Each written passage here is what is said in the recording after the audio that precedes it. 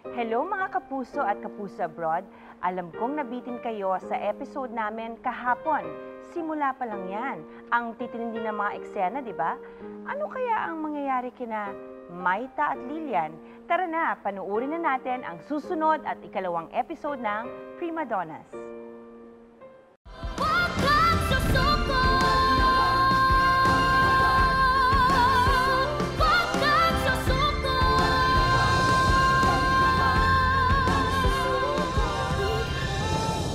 Can't thank you enough sa pagpayag mo maging surrogate mother ng mga anak namin. Tatanawin namin ng habang buhay ito sa'yo. I was 10 years old nung kinupkop at pinag-aaral ako ni Lady Prima. At wala pa yung Maita na yan. Hindi lang kayo magkakaanak ng isa. Triplets ang nabuo. Hindi mo lang pinunan yung pagkukulang ko bilang isang ina, pero pinaramdam mo rin sa akin kung paano magbuntis. At hindi siya madali. Ma'am, dahil sa suporta at pag-aalaga nyo, nakakayanan ko. At parang nyo na rin inaalagaan yung mga bata. Alam mo ba, nagkaroon ako ng pag-asa lalo nung hindi sila magkaanak. Dahil di ba pwedeng tumabang ang pagsasama ng mag-asawa kapag wala silang anak? Tapos ngayon ano, magkakaanak sila? Alam mo, dapat ginawa ko to dati pa, di ba? Pero hindi pa naman huli ang lahat, Jaime, hindi ba? Kendra, Diba? Ako na lang ang piliin mo, Jaime. Please, ako na lang ang piliin mo. Hindi ko palalampasin lahat ng ginawa mo. I'll make sure paalisin kita dito sa kumpanya Jaime, huwag mo naman gawin sa akin. You're fired. You're fired. Now get out. Victor, Ma'am. wala akong pakialam kung anong gagawin mo. Basta ang gusto ko, mawala si Maita sa buhay ni Jaime.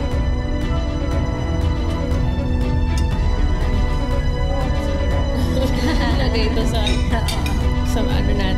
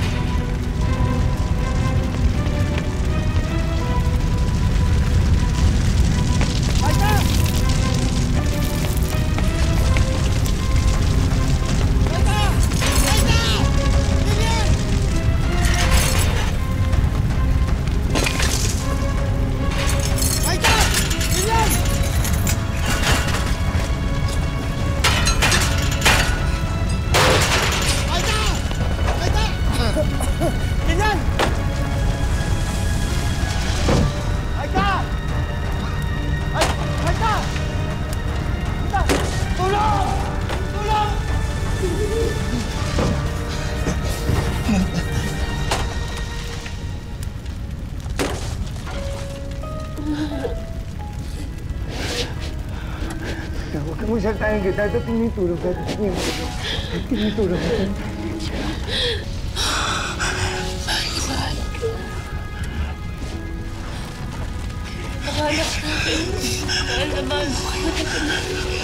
Maika!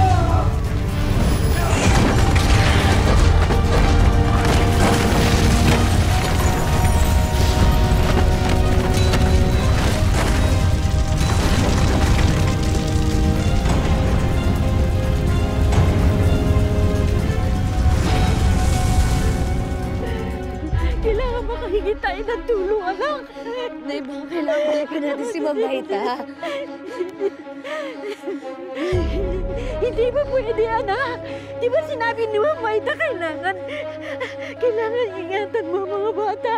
Hindi kailangan niya yung tulong natin. Kailangan balikan natin si Hindi Mamaita. nga ba pwede, anak? Hindi ba pwede? Kaya mo na. Kaya tayo makahingi ng tulong. Ano? Oo na.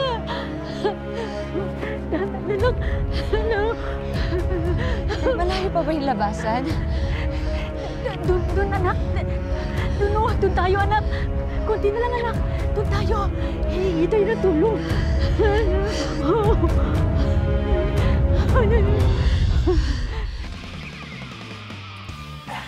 Pare, siguro naman happy ka na. Abo na yung mansyon. Pare, porsyento ko ha. Ano ka ba? Masyado kang atat ah. Hindi pa tayo pwedeng umalis. Kailangan magmatsyag pa tayo para makasigurado akong wala nakaligtas dun sa sunog. Ayoko magkaroon kami ng problema ni Kendra. Malapit na, anak. Malapit na. Malapit na, anak. Tulong! Tulong! Tulong! Nay! Nay! Barangay! Nay! Sa may pintuan, bilisan mo yun yung babae. Buntis sa kasama dapat sa sunog. Tigil! Tutok ng barilina!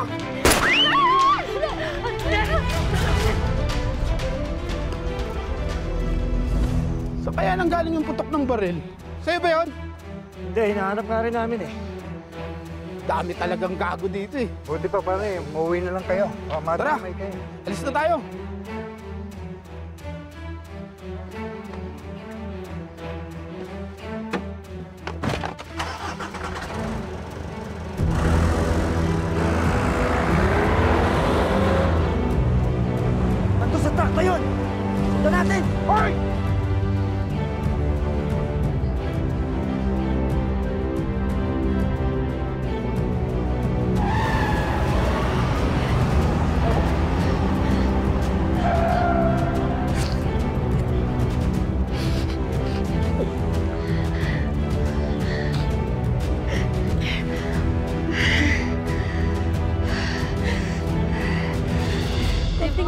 Na po ata ako eh. Kunting tiis na lang, anak. Maghanap tayo ng masisilungan, anak. Kunting tiis na lang. Para sa mga bata yan, anak. Kunting tiis na lang, anak. Nay, Nay, hindi ko na yata kaya manganak na ako. Hanggang tama nga, magsisilungan tayo dito sa cemeteryo, anak. Doon, anak. Ah! Na lang, anak. Kunting tiis na lang,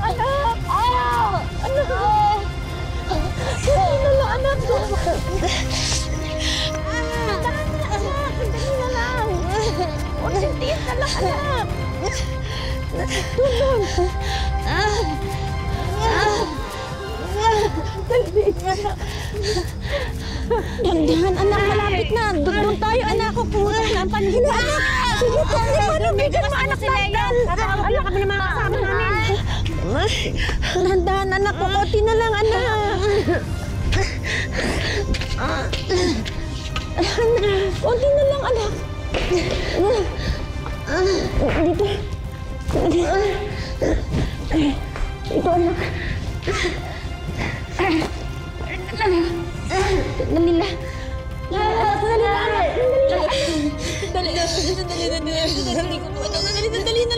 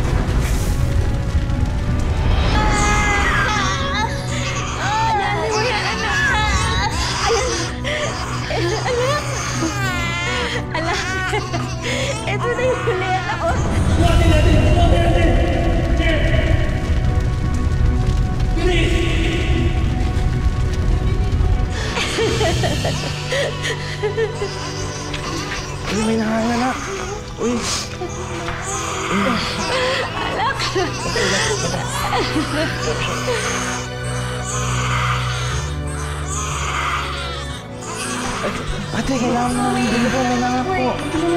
Gising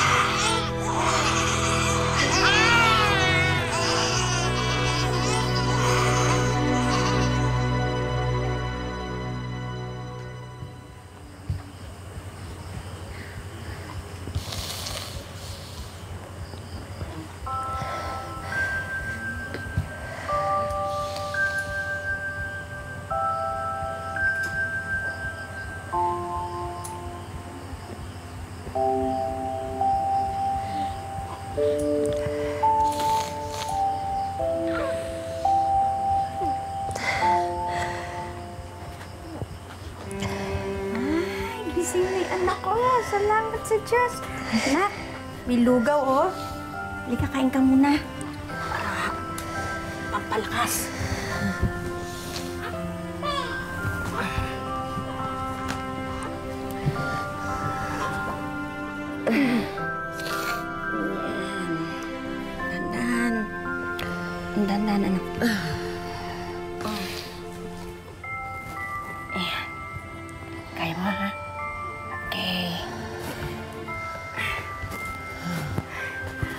Anak, meron palang pinapapaupahan ditong bahay.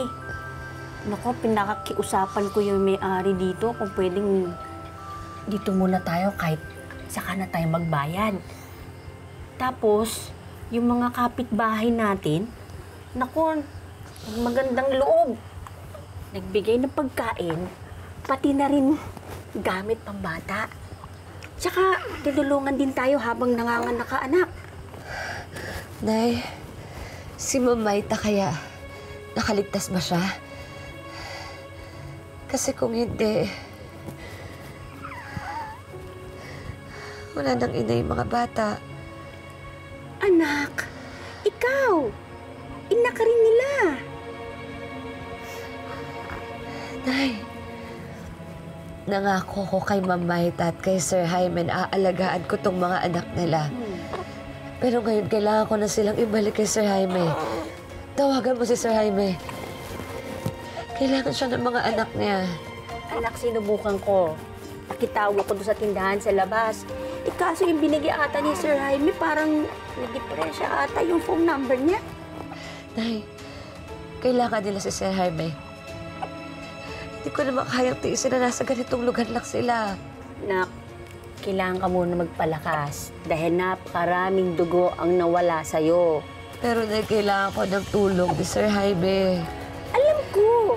Pero hindi mo naman maaayos lahat yan kung mahina ka pa rin. Isa pa, ni hindi mo nga alam kung ano yung panganib na naghihintay sa atin eh. Yung nangyari sa atin kanina.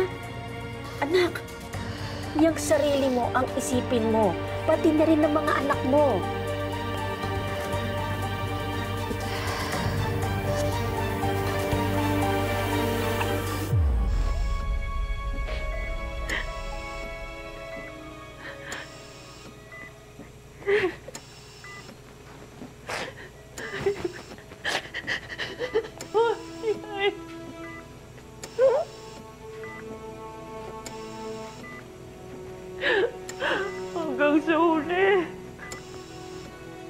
Si Maita pa rin ang iniisip mo. Hanggang sa huli siya pa rin.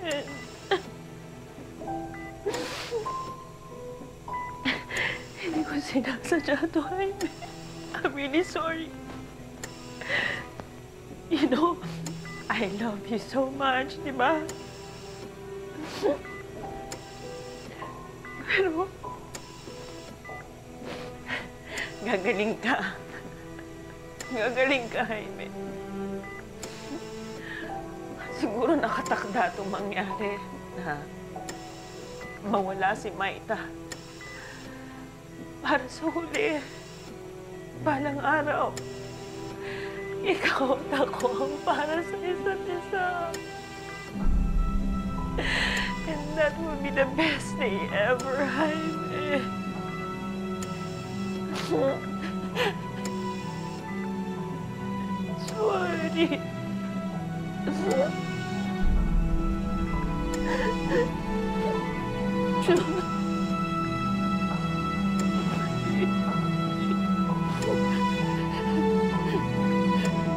Magising pa kaya si Jaime matapos ng nangyari sa kanya? Kakapanganak pa lang ng mga donas pero sunod-sunod na ang trahedyang nangyayari sa kanila. Nako, bago natin ituloy ang panunood, shout out muna sa mga kapuso abroad. Hello sa mga nanonood dyan overseas. Mga anak, kapag magaling na si nanay at kaya ko na, puntahan ko ang papa niyo, ha? Anak, sinabi ba sa'yo ni Ma'am Maita at ni Sir Jaime kung ano ipapangalan mo sa kanila? Hindi po, Nay. Eh, ano ipapangalan mo sa kanila? Ah, Nay, yung kwintas, nandun sa, sa damit. Ah, sa damit ko. Oo, oh, teka, teka sandali.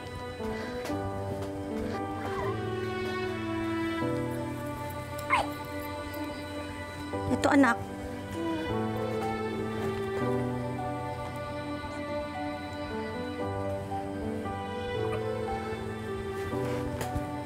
Tenaria? Ito. Nay, Donna. Donna, ipapangalan ko sa kanila. Sa kanilang lahat? Hindi po. Ikaw, si Donna Marie, dahil ikaw ang unang lumabas sa akin. Ikaw ang panganay ko. Donna Marie. Ikaw naman, si Donna... Donna Bell?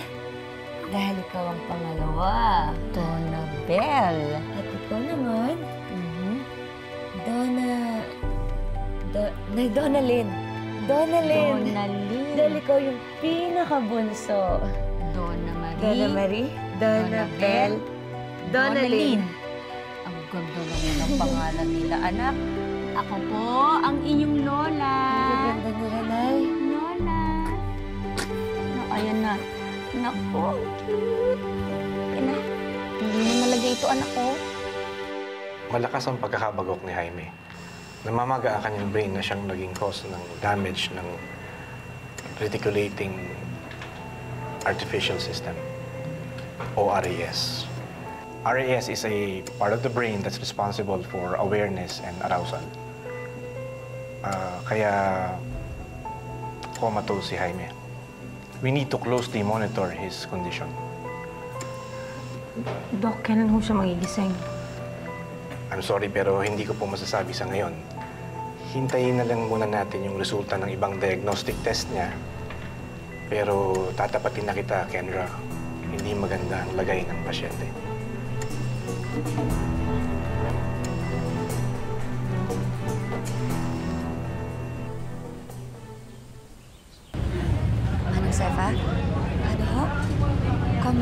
si Sir Jaime? Oo, Lilian. Patay na rin si Ma'am Maite. Hindi na ako nakabalik sa dati ang tinitirahan. At dito na ako sa probinsya. Alam niyo po ba kung saan ospital dinala si Sir Jaime? Bakit pati si Jaime dinamay mo? Alam mo, pasensya ka na, ma'am, ha? Hindi mo naman kasi sinabi sa akin yung doon pala yung Jaime. Sana, ginawa mo yung inutos ko sa'yo nung wala si Jaime. Ngayon, nakita ni Lilian lahat na nangyari. Paano yan? Nakita ka, madadawit ka, pati ako madadamay. Pinuntahan na namin yung bahay ng mag-ina pero wala. Pati yung sinasabi mong yaya ng Maita na si Sepa, bigla na lang din nawala. So paano ngayon? Ano, give up ka na? Ako nang gagawa. Alam mo, pasalamat ka ha, na yung kliyente na nagrekomenda sa'yo sa akin ha, malaking utang na loob sa akin. Kaya kayo ang mga kinuha kong tauhan dahil akala ko magagaling kayo. Sinasayang ng mga pera ko. Huwag kang mag-alala, ma'am. Magmamanman na rin kami sa ospital. Baka sakaling bumisita yung kay Sir Jaime. Tsaka yung Lilian, huwag kang mag-alala. Hindi ko. Dapat lang. Kaya dapat ang gawin mo, siya nang isunod mo. Nagkakaintindihan tayo?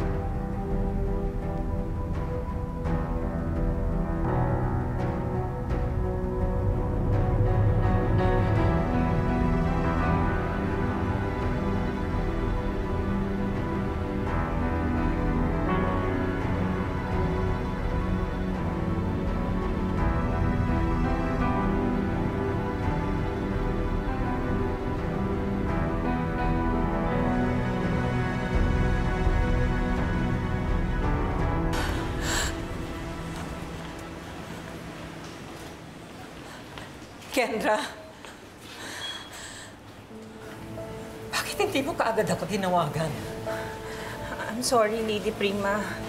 Pero po, ang dami ko na inasikaso si Jaime, si Maita, yung way po niya. Pero nakausap ko na yung mga doktor. Ang sabi nila, they're doing their very best. Are you sure aksidente ang nangyari?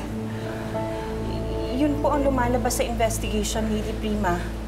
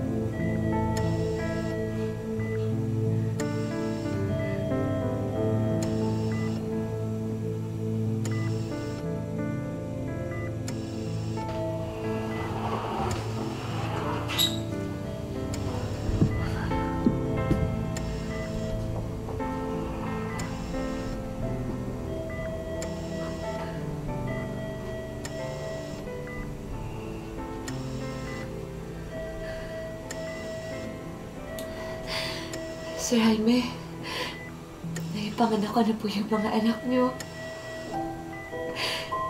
Kamukhang kamukha niyo po ni Ma'am Maita. Ang gaganda po nila. Sir Jaime, meron pong dalawang tao nagpaputok sa amin ng nanay ko. Parang pong gusto po nila kaming patayin eh. Di ko po alam kung sino po sila. Pero sigurado po ako na nanganganib po yung buhay ng mga anak niyo. Sir Jaime, Sir Jaime, kumising na po kayo. Kailangan po kayo ng mga anak niyo.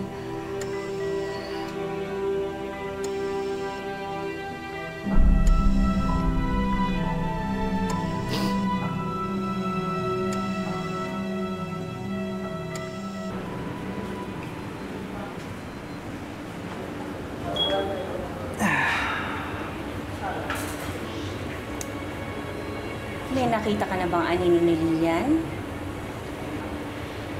Wala pa, ma'am.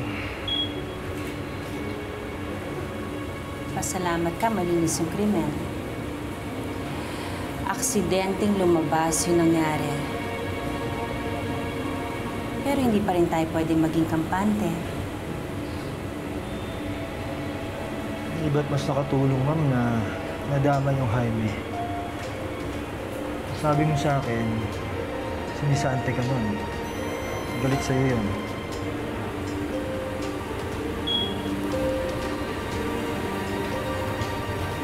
Pero hindi pa rin tama na dinamay mo siya. Tsaka pwede ba, huwag kang nangingialam ng diskarte ko. Gawin mo ang trabaho mo.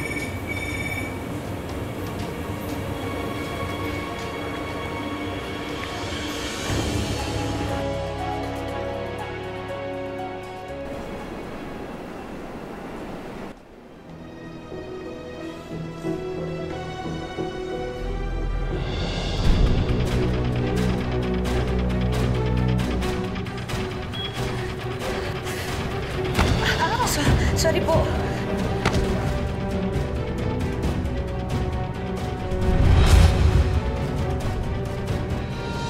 Si Mr. Jaime Claveria. Wala na po siya dito. Alam niyo po ba kung saang ospital siya nilipat? Ang pagkakaalam ko po, ma'am, dinala po siya sa ibang bansa para ipagamot. Hindi ko alam kung paano maging isang ina. Pero kayong tatlong panghahawakan ko. Ang magiging inspirasyon ko. Kayong magiging lakas ko.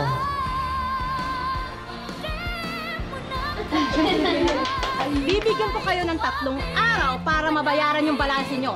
Kung hindi, maghanap na kayo ng ibang matitirhan. Jaime?